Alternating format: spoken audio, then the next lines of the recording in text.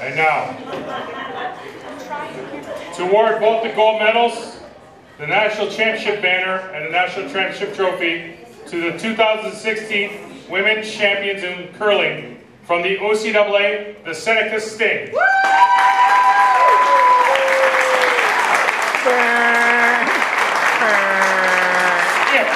Stephanie Van Husye.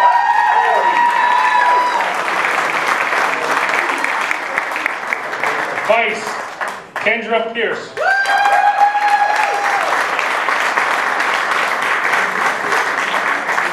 Second, Courtney Mabee.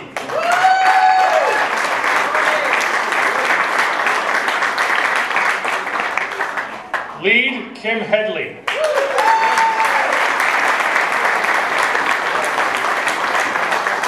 Assistant coach, Tom Bryceland.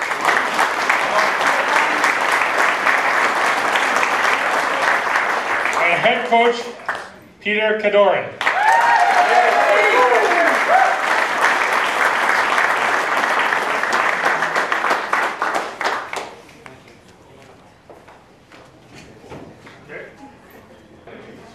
Ladies and gentlemen, your 2016 national champions, the Seneca Sting.